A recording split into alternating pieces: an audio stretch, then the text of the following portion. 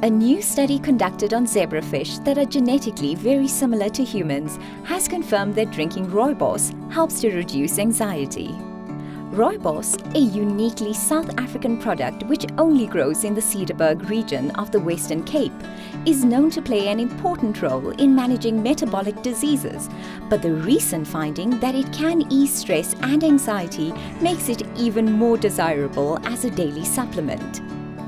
Professor Carine Smith, who heads up the zebrafish research unit at Stellenbosch University's Division of Clinical Pharmacology, explains how they went about the study. One of the things we were interested in, in studying in these zebrafish is rooibos and the potential health benefits to be gained from consumption of rooibos. And we simulated various conditions. One of them was anxiety, and we saw that rooibos significantly reduced that. Professor Amanda Swart, a researcher at the Department of Chemistry and Polymer Science at Stellenbosch University, who has been studying rooibos for almost two decades, confirms the findings.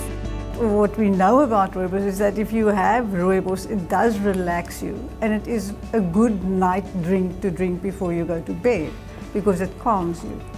My research group started looking at cortisol specifically because cortisol is inherently linked with stress. So we could show in the system that rooibos actually affects the production of cortisol and it can actually lower cortisol. The other component that we looked at, which is just as important as cortisol, is the inactive form of cortisol.